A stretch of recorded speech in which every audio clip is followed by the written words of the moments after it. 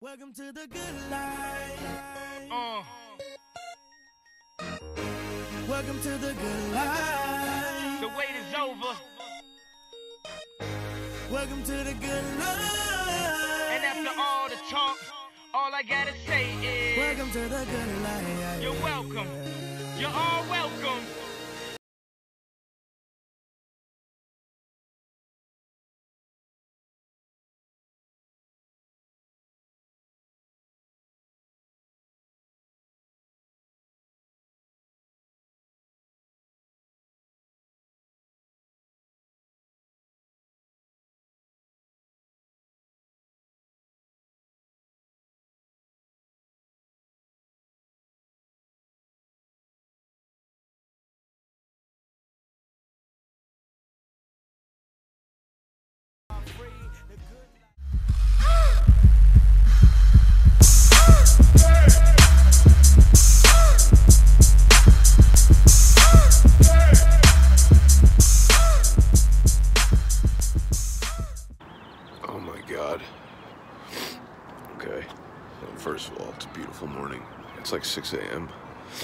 Sunday morning. Ooh, we fully fucking sent it yesterday. I don't feel good. I don't look good. I ate like $19 worth of snacks from 7 Eleven on the way home. So I'm really bloated right now. I think I dropped like seven pounds since I've been out in California over the last week and a half. Probably combined the week that I went vegan. Oh, fuck, dude. How am I out of breath? I just woke up. Let me show you guys this view.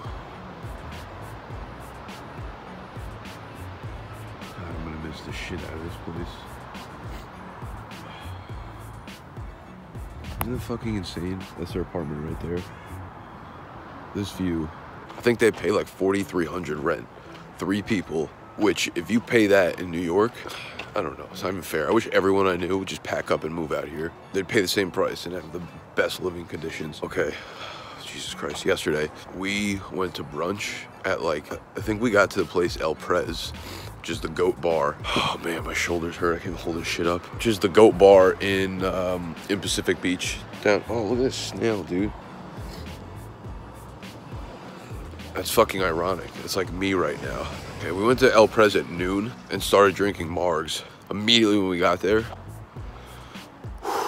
I didn't get home until 2 a.m. So 14 straight hours of Margs. Fuck, man. I was on such a good streak, like mentally, like not getting wasted and feeling good and productive. And now I feel like I ruined that. I don't know where Nick is. He didn't come home with me. I went outside to take a phone call at like 2 a.m. The bar wouldn't let me back in because I went out the exit sign. They're like, you gotta wait back in line if you wanna get in. All my friends were inside except for Nick, who's the one I'm visiting out here. I don't know where he is because I called him. He's not answering. So I'm like, fuck this. It's 14 hours I've been drinking. I'm taking an Uber home. So I Ubered it home by myself. Uber driver's cool as hell. He's from like Morocco. Anyways, um, what did I eat? Dude, I really dropped like $22 on 7-Eleven and ate all of it on the way home. I ate a slice of pizza. Yeah, that's how fucked up I was. I ate 7-Eleven pizza. I think two protein bars, pack of cookies. I have the worst sweet tooth. Big bag of pop chips. I don't even want to think. My stomach hurts so bad right now. I almost threw up in the morning because my stomach hurt, not because of drinking. I never throw up in the morning from drinking. I just needed to be outside. Like I said, it's really early, but I'm going down by the ocean. Holy shit, last night, yesterday was fucking, I can't be doing that. So for the next two weeks, I got off a phone call with, my coach, Dan, yesterday, and we're going full on two week sprint in terms of business stuff. I wanna give you guys a little update on some stuff I've been pushing for fantasy football. And it's actually pretty dope. I'm putting together, I'm actually gonna talk about this later because I just need to enjoy this and not talk anymore.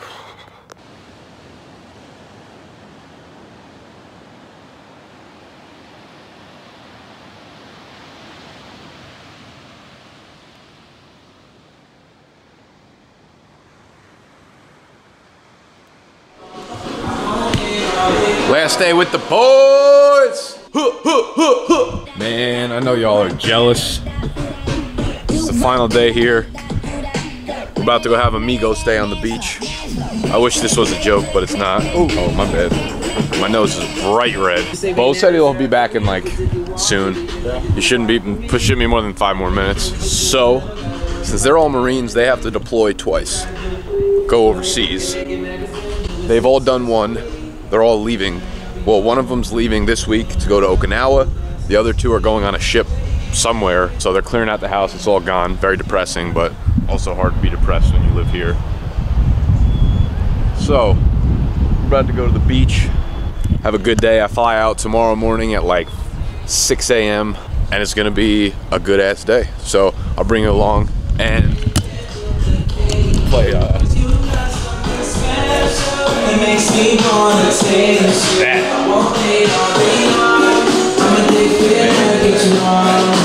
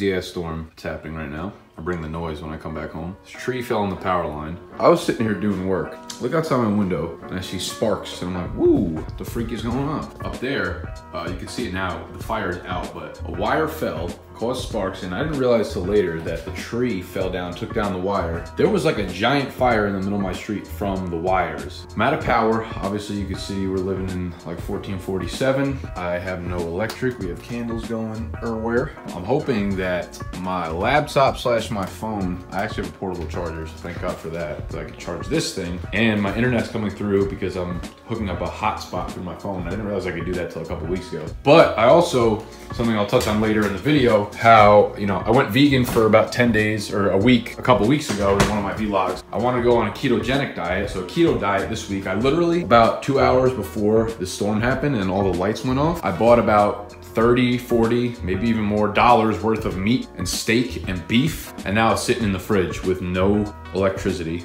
and it's not cold. This shit is about to be ruined. They won't let us drive up the street because they say that thing's dangerous. I'm about to run out there and get my ass electrocuted. Just why not?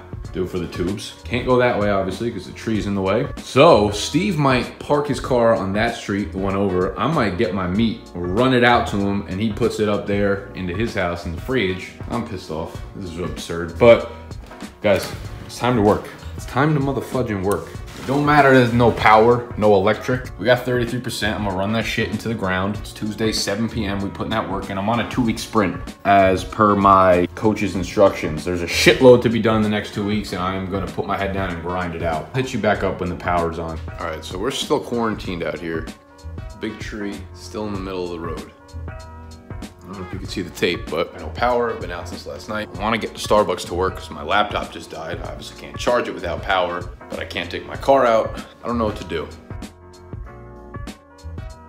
So as you can see, we got some power back in here. Funny thing about this power going out is I said I wanted to try doing a keto diet, a ketogenic diet, which is basically really high fat, medium to high protein, really, really, really low carb. I did the vegan diet for a week a couple vlogs ago. I'm just like experimenting, no reason why I wanna do all this stuff. I went grocery shopping yesterday, about two hours before my power went out. Now, when you think of foods that are really high in fat, it's meat, cheese, it's milk. It's all shit that needs to be refrigerated, except for my baby, almond milk. My power was out, which means my fridge did not have power. I dropped like a hundred dollars at the grocery store yesterday, only for the power to go out. Like two hours later. If you've ever seen my fridge in my vlogs, it's never stocked with food. It just so happened to be like the most stocked on the day when my power went out. I literally brought over like 40 pounds of meat to Steve's house to put it in the fridge. Now, most of the food I think is still good. I'm gonna have to check. I got a lot of spinach and, and kale and arugula and greens and stuff like that because those are the only carbs that you're really supposed to be having. Bacon, I got, there's not a lot of good snacks. I don't wanna eat fucking almonds to be honest with you. Those are the least satisfying things ever, but you're supposed to eat a lot of nuts, oil. I'd rather get my fat from fatty pieces of meat or from natural peanut butter, or something like that, that has a lot of high fat in it. I got a lot of cold cuts, I got steak, I got ground beef. I got things like that. So that's gonna be, I'm peeling because I'm burnt in California, but I'm getting tan. I never get tan, but I'm actually getting kind of tan. It's epic. Every time I get tan, I'm like, damn, I look so much better when I'm tan. I wish I like was able to do be tan year round. I'm like, oh, there are tanning booths, but like, I feel like you gotta be semi, not semi, you gotta be like real insecure about yourself to be tanning like all year round. I don't really care enough about it, but I'm like, damn, I look better when I have a tan. Um, anyways, yeah, so the lights are back on. I just finished chopping up a bunch of peppers. So that's like the snacks throughout the day because the thing that sucks about keto diets, and I'm learning this within like the first day or two. Actually, that's with vegan too. There's not a lot of snack options, right? So when you get hungry or you want a snack at night, like you can't just grab some chips, you can't eat popcorn, you can't eat like yogurt or anything normally that I would eat at night. I like like a cold snack, ice cream, any of those things, can't have. You need to cook bacon. I'm like, bro, I'm not cooking fucking bacon at 9, 10 p.m. You gotta have like some really low carb snacks, like I just cut up the peppers, kind of on hand for when you're doing this. And I'm getting back into this book, Tool of the Titans. I started reading it like actually probably over a year ago because I was reading it when I was commuting into the city and I kind of stopped like halfway through for no reason in particular. I forget why, but there's a book by Tim Ferriss where he just interviews like really successful people, athletes, scientists, researchers, like all top performers of the world, the different fields. He asks them all these different questions about success, life, health, love, all this kind of shit. And I feel like it's a lot more relative to me now after I feel like I've learned a lot about myself in the last year or so on a physical level, mental, like spiritual, all those kind of things. So I, I think the book will relate to me a lot now. And I remember them having a lot of sections about ketogenic diets and how a lot of people swear by them. So I kind of want to read that when I just started reading it again tonight. So, so I'm gonna drink some damn almond milk. I really don't know if this goes bad. I don't think it does. I think because it's made of all almonds, I just shake that bitch up. Otherwise, yeah, tomorrow's Thursday and I'm gonna sit down and have a nice talk with you guys about what my plans are for the summer in terms of fantasy football. I think this summer I'm gonna I'm gonna be able to push out some really, really damn high revenue from fantasy football alone. And I think within the next two years, two to three years tops, I will be able to run my life full-time fantasy football. So here's my first official keto meal. I, I, mean, I've been doing it for the last two days, but since I have, haven't had power, I haven't been able to cook. So I've just been eating nuts and cheese crisps and all this bullshit, whey protein. But I got two, actually there's three, I already ate one. Three slices of real bacon, four whole eggs, uh, some sugar-free or no added sugar ketchups, that's only like a gram of carbs, and some cooked up bell peppers with a lot of olive oil sprayed on it. I'm still not gonna be using oil, like regular oil, as a big means of my calories because it doesn't really satiate me. But I believe like the whole concept is getting like 75 to 80% of your calories from fat then like 15 to 20% from protein. So you're not you're not eating like a gram of protein per pound of body weight. Otherwise, from what I've researched and what I've read so far, it's basically like carbs are glucose, right? They turn into glucose in the bloodstream and that's what your body normally uses as fuel. When you cut out the carbs, it's not able to use glucose anymore, obviously, because the carbs turn into glucose, so you don't have that. Then it starts using fat as its as its resource for energy. Once you teach your body that you're only giving it fat and protein. Fat and protein are necessary for the body. Carbs are actually not necessary for the body to function. You don't have to have a single gram of carb in your life in order to live. Not the same with fat. However, if you do a low carb diet, but you do a lot of protein and a lot of fat, right? If you don't keep the protein to like, I think it's like 0.6 grams per pound of body weight. So I'll probably be eating around 90 grams of protein a day. The fat's gonna be super high. If you eat too much protein, protein is also converted into glucose. So the same way that carbs are, are straight glucose, protein is, is converted into glucose. So the whole point of doing a keto diet is to get your body in like a, a state of ketosis. And there's certain measurements that you have to do. I'm thinking about ordering like a kit that kind of measures it, but I don't know if I want to get that serious about it. But if you eat like 130, 160, like a gram per pound of body weight, like you normally do on a bodybuilding diet, the body starts turning that protein into glucose and then it kicks you out of ketosis. So you have to not only be conscious of not eating carbs, like only like 20 grams of carbs a day, 20 to 30, eating a ton of fat, but you also cannot have your protein too high. So that's kind of what I'm focusing on. I feel like that might be a struggle for me. Just have to have fattier cuts of meat, beef, steak, those things. Add guacamole, nuts, all those things are high in fat, oil. I'm gonna enjoy this. I'm doing some work right now, and I will fill you in on all my fantasy stuff in a minute. All right, friends, let's talk some finances. I was saying that I think this summer could be a huge one for my brand in terms of revenue through fantasy football. Now, working with Dan, a lot of it has been figuring out how to monetize properly. Because when you have an audience, I have an audience of over 5,000. It's growing pretty quickly. I've, I've gained like 500 new subs over the last month, month or so. You should be able to monetize correctly. So there are a few things that I have that I'm really working hard on right now. That is the draft guide, right? It's a it's an e-magazine basically. I use these the software called Flipsnack where I create this online magazine which can be accessed through your phone, computer, your laptop, and basically rather than purchasing a magazine at the store and bringing it to your draft guide, I created my own and I'm able to update it throughout the summer, whereas like big services like ESPN or CBS who publish these don't have the, the opportunity to work on it. So they have to go through a lot of chain of command, so they get it done really early and most of the information is outdated. So I saw a void in the marketplace for that. I'm breaking down the finances. I'm always transparent with you guys on this channel. This is towards the crowd that just follows my vlogs, not so much for fantasy football because you guys already know the prices and everything. Right now, I put it up for pre-order, right? Last summer, I I think I started selling it in July or maybe even on, in August, and I priced it at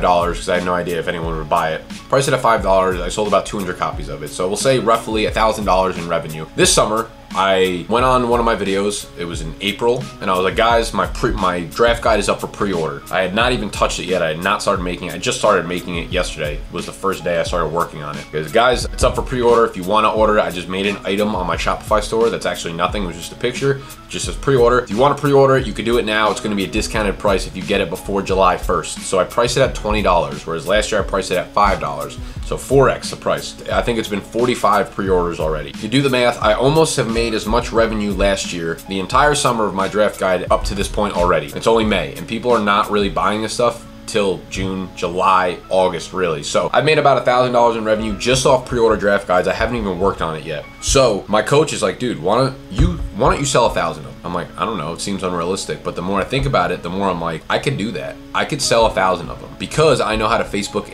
and Instagram market. What I'm thinking is making a, a three funnel, a three pronged funnel. Video, one of the videos I use for YouTube, I could already put out there. That gains a lot of more like virality and traction and social engagement. Then hit them with another value video. People that have viewed a certain percentage of the first video, retarget them with the new video. That's what you could do through Facebook and Instagram marketing. Then the people that watch this a certain percentage of that second video will get retargeted for a sales ad of me selling my actual draft guide. So that's what I think the funnel is going to be. But I'm working on since I haven't really started working on the draft guide yet. I just started. I want to get an entire layout. My coach basically has me on a two week sprint. For the next two weeks since I got back from California, I have so much shit to just knock out in the next two weeks so I can take the next step forward and really hit the summer running. One of the things was to get a, a, good portion of the draft guide done or at least the layout done so that I can make marketing content of it, right? If I can make a video of what I already have put together, not really give off too much info that's in the actual draft guide, but just show what it is, show the value, how cool it is, and make a video based around that, then I could use that in my marketing funnel as like the third video in that funnel. And I keep saying funnel because that's how you look at it as a marketer. You think of it like a funnel, right? Think of it like a beer bong how it's shaped. It's like the top is really wide because it's a huge audience of people. As you turn the audience from a cold audience, people who don't know you or your product, the bit that's a much bigger audience, to people who know you, to people who want to buy from you, the funnel gets a lot smaller. So that's how you look at marketing. You have the cold audience, they get trickled into the top of the funnel. So now they start to becoming a warm audience, warm audience, and the more likely they are to purchase, the closer they are to purchase, boom, they're at the bottom of the funnel. And once they drip through, they're a purchaser. So that's what you have to do, and that's the funnel I'm putting together. So I'm thinking video, video, an engagement video, a valuable video. Usually you'd want uh, something in the middle that is like a lead capture, right? That's when you want some kind of conversion, not exactly a purchase, but maybe an email capture or, or a PDF download or something like that. And the third one will be a sale. So if I can do that correctly, and given my experience running marketing for the company Fantasy Jocks, I know how much engagement goes on with this fantasy football industry for marketing, Facebook and Instagram marketing, because I did it all last summer. I don't think it's out of control that uh, that I could possibly sell a thousand copies of this draft guide. So twenty dollars, thousand copies. You guys could do the math. Also, the price will go up on July first. I'm not sure what I want to do the pricing wise. I think I'm going to increase it from twenty dollars to maybe twenty six ninety nine, maybe twenty nine ninety nine. I'm not really sure. I'm hesitant to put it up to thirty bucks because I feel like that might be out of my my target market's price range. But my mentor made a good point saying if they're going to pay twenty six dollars or twenty seven dollars, and they'll they'll pay thirty dollars for the same product. So that's something going on. Other thing I have going on, which is such a dope idea that I thought about over the weekend in Los Angeles, is I needed to develop some kind of high ticket priced product. There's only so much money I'm going to make off this draft guide, right? At twenty dollars a piece. So I needed to think of something that's high revenue that people are willing to purchase for a high price. And I'm thinking, you know, and, and there was a lot of things that stuck with me throughout the weekend. A lot of different quotes, a lot of different sayings, a lot of different tactics. But one that really, really, really stuck out to me was the CEO of Boss Babe. And she said, the goal of trying to build an online community should be so that you can bring it offline. Think about what that is. You build the online community, right? Subscribers, followers, whatever, so that you could bring them offline because the real value in all this is connection, human connection, one to one interaction, face to face, right? You want that offline connection. That's where the experience is, right? That's where people pay, people pay for experience and they pay for how they feel and their emotions. So once you go offline, that's where that comes in, and that is where you drive the revenue. I don't want to make it seem like it's a this is just strictly for revenue because it's not. Because I want to make connections and meet people that I'm that subscribe to my channel, right? That mess with me. I want to, you know, I want to get to know them as well because they're supporting me. So what I'm doing is, and I've already started promoting this, is a, a live draft weekend. So I'm gonna take nine of my subscribers, bring them out to New York City, rent an Airbnb for the weekend, Friday, Saturday, Sunday, have a live fantasy football draft on Sunday.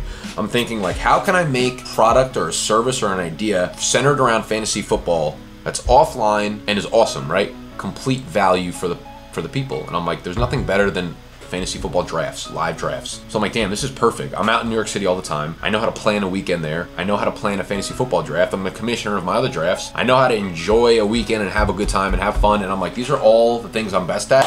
Let me smack them together and boom, put it in a package. So that's what I've come up with. I plugged it into just one of my videos and I've had a ridiculous amount of people reach out. Not a ridiculous amount, but I'm only looking to fill nine holes, and this is going to be a higher price product. It's probably going to be between $850 and $1,300 for the weekend. So price that out times nine or 10 people, whatever, and you're looking at a pretty good amount of revenue from one weekend. Now, I think I've gotten somewhere between 15 and 20 people saying they're interested in it, and that was from one video plug. So uh, I'm plugging it into a few more videos throughout the coming weeks, and I think I should see more interest. And I have five people that already committed and said yes, they would do it. And I'm not sure what I'm gonna do if more than 10 people wanna come, right? If uh, I might extend the league to 12 people instead of just 10, and I don't wanna like kind of push anyone out, but again, it can't be unlimited amount of people. In the future, that would be something I could do, like down the road, right? Set up different live drafts for other subscribers. I don't actually have to be personally involved, and that's the way I could scale my business to have really, really good monetary value. There's so many ideas here, and I, I honestly, honestly, honestly think that if I do this correctly, right, and things go according to plan, things go well, within two to three years, I could realistically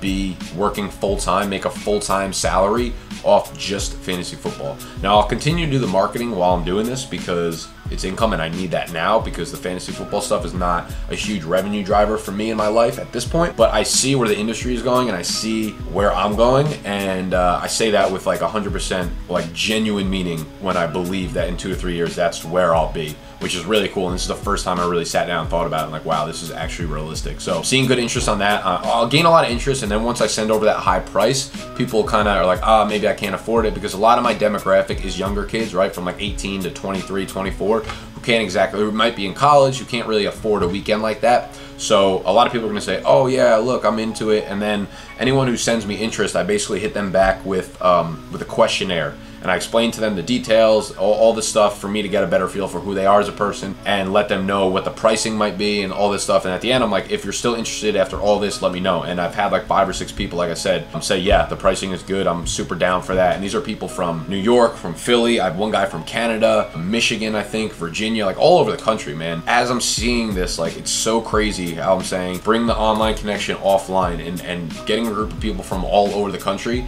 to come for this one weekend or this one connected like cause is so crazy when it actually comes into fruition. Dude, I don't know. My dream, I'm starting to think down the line, four or five years down the line, if it gets big enough, why not do a fucking countrywide tour? You know what I mean? Like hit the biggest cities New York City, Dallas, California, LA, Philly, like five cities. Go there, and if enough people want to meet up, do meetups, man. That's so fucking cool. It's like you're going on a concert tour, but it's for fantasy football. That's wild. I know that's so far ahead, but I've done this so correctly, like so right to the point of building this foundation and putting in the work and building a community that's engaged with people and I engage with every single comment and DM and everything I get that people get a connection from me and I get a connection back with them and that stuff plays itself out in the long run. You might be thinking, oh, he's only like 5,000 subscribers. What are you talking about? He's gonna go full time with this shit. But you can't think of 5,000 subscribers as the ones I have and compare that to like 5,000 followers of some Insta ho. It's not the same thing. I don't know. That's my thoughts and uh, I'm so excited for the future and to see where this goes and we're in a good spot right now. And I was a little hesitant when the summer started. Like I, I was excited, but I wasn't really sure because I hadn't put any pen to paper. But now that things are rolling, I'm like, dude, this is uh this is pretty hectic and this is crazy. And I'm just so excited to see where I am by like October. I have some other really big news on the marketing front, but I'm not going to talk about it until I hear back and get confirmation about anything. So stay tuned for that. Now I just have, I knocked through like three videos today that I have uploading and sent out. So yo, we're putting in the work behind the scenes here, man. So as much as the stuff you see me doing and, and got going on, like it's only because I work so damn fucking hard every day. I'm in the, I'm in the MF grit. I'm doing the work. Nothing comes good unless you do a ton of work. Hard work, smart work, all the above, man. So all this stuff I'm putting together is clearly planned out, thought out, executed on, and put forth. Much love. Okay, so that's gonna wrap up this week's vlog. I just hit the grocery store, picked up a couple more things. Got coconut milk, which is four and a half grams of fat, only one gram of carbs. Some natural chunky, oh no. Gotta mix that shit in when it's natural. Didn't do that yet, but natural peanut butter. If you get the stuff that's not natural, there's most likely added sugar. If you're trying the keto diet, make sure you're conscious of that. I also don't suggest trying this, like plan it out before you do it. Or at least give yourself a few days in advance to kind of research it and then get a grocery list together. Don't just jump in like my dumbass. What else did I get?